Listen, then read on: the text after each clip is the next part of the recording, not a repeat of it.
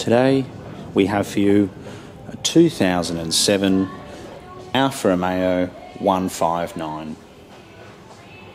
It's got the 2.2 litre twin spark petrol engine and this particular car is a manual. It's dark blue in colour with beige or tobacco leather interior. It's done 87,000 kilometres and this car has a very good service history indeed. This comes with the six speed manual transmission. It's got leather seats as you can see, and this particular model does have a sunroof. I have driven it, it's beautiful to drive. It's got the very smooth twin spark engine which sounds fantastic. So we're very proud to offer you this car here today. The dark blue exterior seems to be in very good condition and so do the wheels. It, I can't see any forms of gutter rash or anything like that on the car. I mean, really, Alfas are known for their very lovely interiors. So this car is referred to as the Alfa 159 2.2 JTS. They were quite expensive and they were new, and we feel it's excellent value second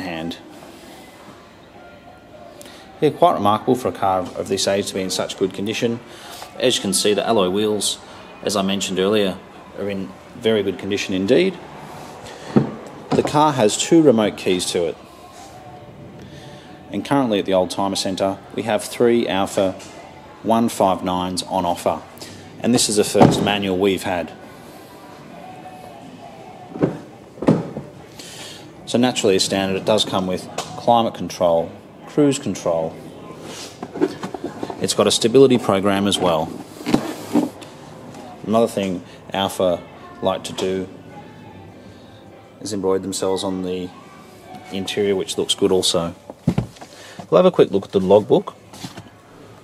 So it's got all its books here. It's got some receipts in there. Just having a quick look through here. Yes, it does have a very good service history up to 60,000, 75,000 Ks, and I think we may have seen, here we go, yes, there's another minor service on that side as well. So this car does look like it has had a very good history.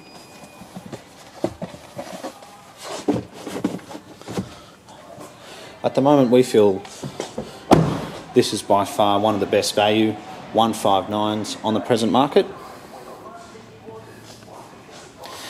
And such a very unique colour combination. The last few Alfa 159s we've sold have actually been silver, red. We've got an Alfa Brera over there we have on offer at the moment. So it is registered in New South Wales, this car, and it was sold new in New South Wales. It looks to us to be a one owner vehicle also.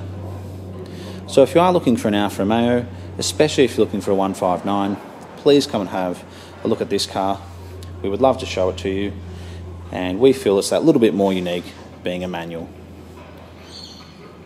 So we're the Oldtimer Centre, and we certainly look forward to hearing from you.